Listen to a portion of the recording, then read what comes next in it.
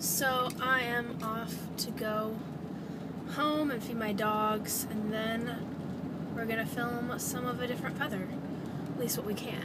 And um, I mean, it's just gonna be a hectic day. I've also probably gotta fix some stuff on some schedules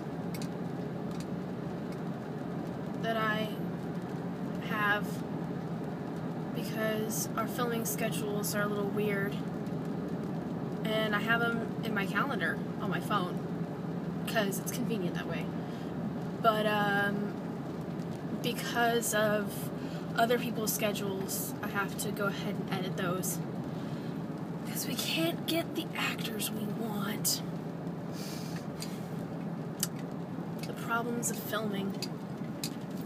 I mean, if I had it all right, if I could do it, I'd freaking get like some A-list actors or something, some B-list actors or whatever, to fill these roles and just be like, hey, videotape yourself. I don't even care, and then send it in because right now that seems more likely to happen than us actually getting any one of our friends in town to go ahead and just be like, hey, um, I'm available to actually film.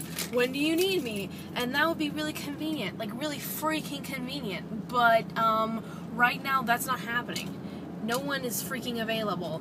And it kind of puts a damper on what we're trying to do because if we need extra people and we need fulfilling roles or people to fulfill roles, then